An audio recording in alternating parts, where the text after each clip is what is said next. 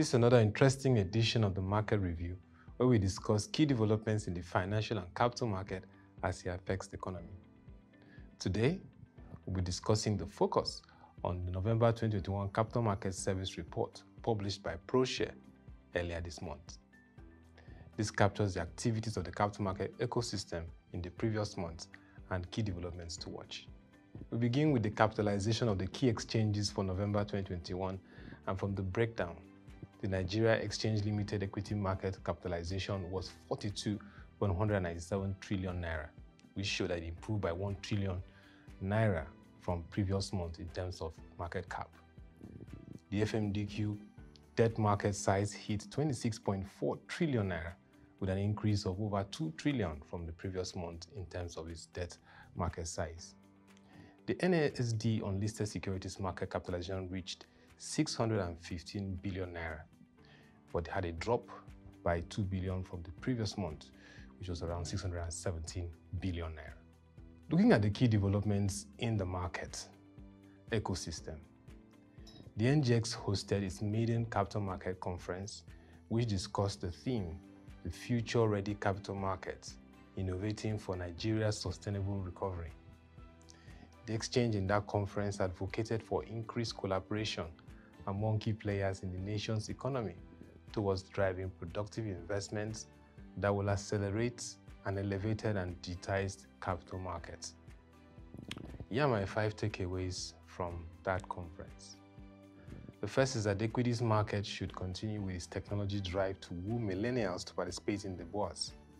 The average investor base of 53 is not good for a demography dominated by young people.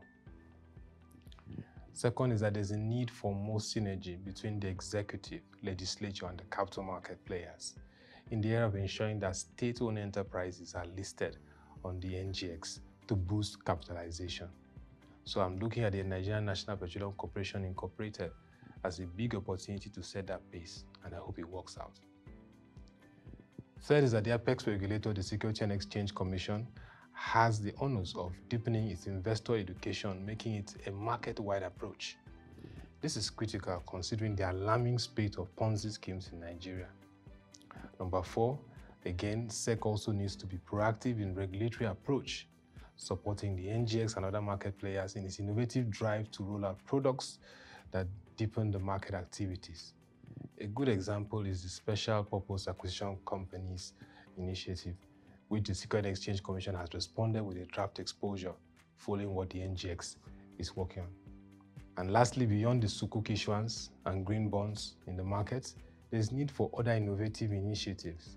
We would like to see to the NGX and other market players initiatives like education bonds, health bonds, railway bonds, etc., so that we can have a more expanded economy. The FMDQ Securities Limited, from analysis, has continued on a remarkable trajectory of improving its activities in the commercial papers market. This is notable and should be sustained considering the traditional crowding out of the private sector by government activities. For the NASD, compared to the last six months, there has been now a steady improvement to a 600 billion capitalization mark compared to its 500 billion in that period. This needs to deepen because it can look at its products, sustain its digitization drive, to attract more companies into the listed securities market. Now, here are some trends to watch in December 2021 for the markets. Of course, the recent launch of the NG Clearing Limited by the NGX is now a major pace-setting development and should create healthy competition in the central counterparty space. We expect progress in the NNPC incorporation and prospects for leveraging the capital market for listing. We will continue to follow updates on the shareholding control of FBN Holdings, a listed company in the NGX. And of course, the impact of the flour mill's acquisition of the majority stake in Honeywell. Last has not been ahead of it. Continue to follow that story and development. And the SEC exposure draft on SPACs, special purpose acquisition companies, and the NGX drive on it. Of course, SEC and its investor education approach, curbing the alarming rate of Ponzi schemes will be something to watch. And of course, the Nigerian Communications Commission 5G auction, which happened yesterday, and the role of key quoted companies in the exchange Airtel, and MTN. It will be very important to see what happens in that regard. And of course, the FMDQ and its increased activities in the commercial papers market. We're watching to see how many more will come on board.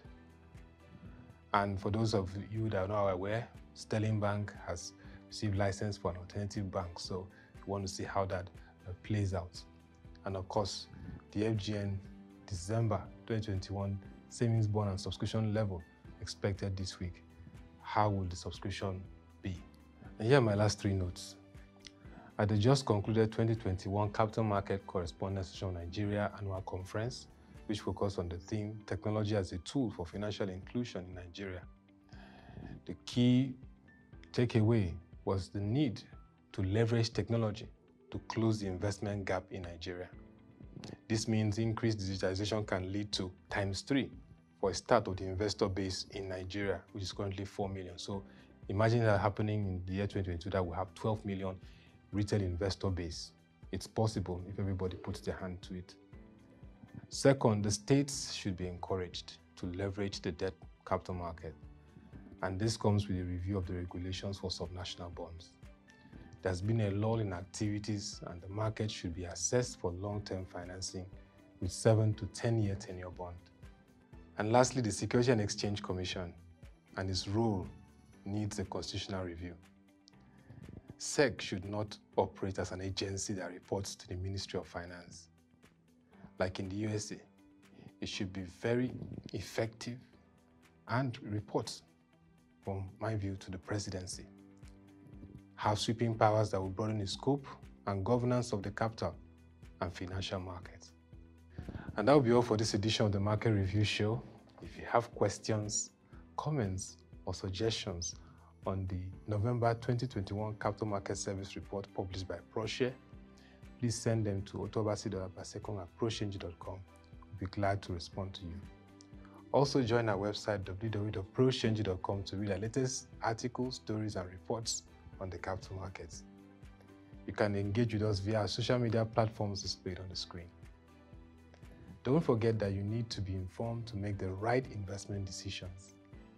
Thank you for watching and keep discussing the financial and capital markets because they create wealth and economic opportunities.